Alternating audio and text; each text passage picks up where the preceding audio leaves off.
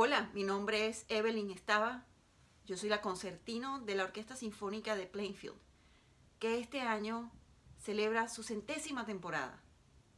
Me enorgullece muchísimo ser parte de esta gran organización que ha sido un pilar en la vida cultural del estado de New Jersey y más allá.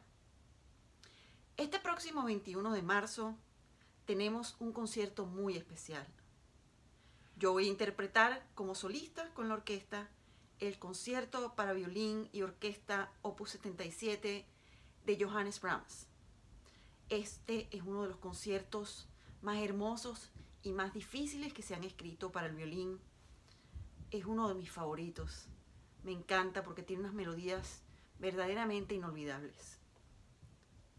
En la segunda parte del concierto, el maestro Charles Prince interpretará junto con la Sinfónica la Sinfonía número 1 de Robert Schumann, otra hermosura de pieza.